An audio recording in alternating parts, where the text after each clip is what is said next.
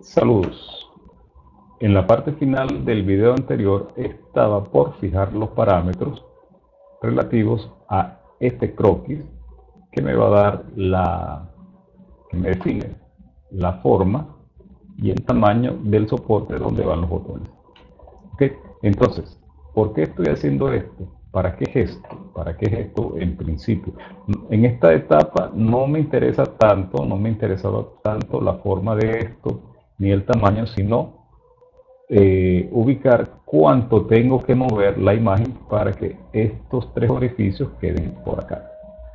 Pero estoy aprovechando el momento, ¿sí?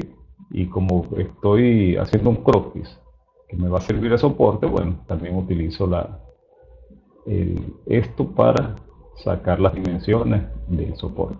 Pero en principio lo que quiero es no en principio, la primera, esto lo estoy haciendo en primera instancia para eh, cuantificar cuánto debo mover la imagen.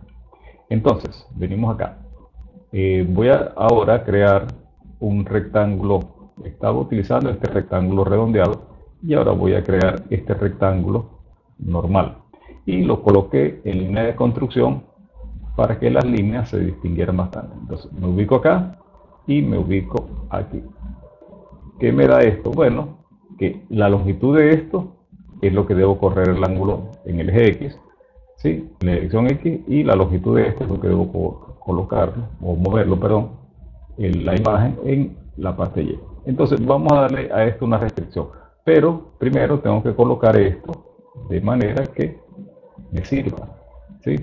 Eh, recordamos que esta fotografía, aquí en esta parte, representa un orificio y por ahí va, van a entrar los botones. Entonces, venimos acá, acá, aquí. El botón debe estar más o menos por acá porque hay algo de holgura que debe tener.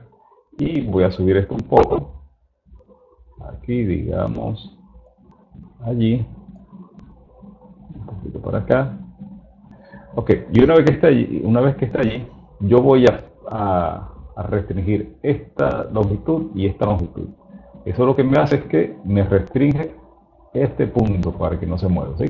Entonces voy a restringir esto lo voy, a, lo voy a llamar X y voy a restringir esto lo voy a llamar Y. Entonces empiezo por acá, selecciono y llamo a esto X. ¿Ok? Entonces la distancia que hay desde acá hasta acá es justamente X. Esos 7,66 milímetros. Esto ya no se puede mover de izquierda a derecha. Y cuando restrinja acá, vamos a llamar esto Y, ya este punto está fijo. Y fíjense cómo cambió el color de esto de un azul más oscuro a este azul un poquito como violeta. Ok, lo que le estaba diciendo es que ya con esto cumpliría eh, la primera intención que era saber cuánto debo mover la imagen para acá. Pero voy a aprovechar esto para que mi soporte, encontrar el tamaño del soporte que quiero. Entonces vengo por acá. De hecho, si pudiera decidir que esto, este arco es muy grande, también se puede cambiar. Pero por ahora a mí me está sirviendo como lo veo por allí. Y fíjense que muevo esto cómodamente sin que se mueva todo el croquis porque ya este está fijo. Muevo este punto aquí, vamos a ver para acá. Y bueno, también, eh, si esta línea no estuviera aquí, a lo mejor fuera más cómodo, pero aquí no me está entorpeciendo demasiado. Y ahora recordamos que esto es el borde, el botón iría por aquí y con esto me es suficiente. ¿Está? Entonces, eh, ¿qué voy a hacer ahora? Bueno, vamos a hacer algo. Yo voy a fijarle también este, el, el radio de este redondeo y lo voy a llamar así. Digo aquí que esto se, se llame redondeo. ¿Sí? Entonces sería placa, redondeo, como se almacenaría en el, en Dynamic Data. Este, todos estos redondeos son iguales. Y ahora voy acá. Y si yo restringo esto, ya está el croquis completamente restringido. Le voy a colocar aquí el candado. ¿Ok?